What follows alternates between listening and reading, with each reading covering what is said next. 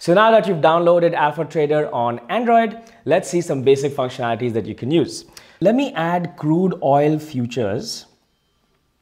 And once I click on it, I can see the depth. Let me also open up the buy window. So as you can see, that's the buy window. I've specified a price and I can select the quantity.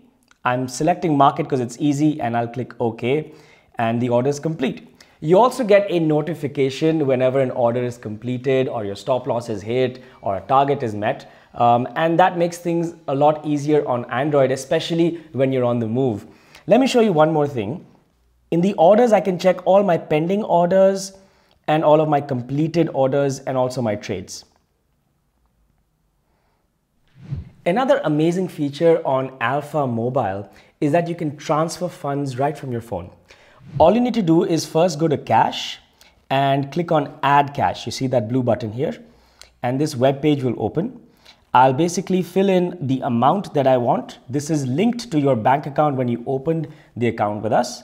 I'm connected to Axis, so I'll fill up all the Axis details. After you fill that up, it's a simple internet banking transfer and the money will be in your account. So that's it. That's how you will use Alpha Trader on your mobile. Happy trading.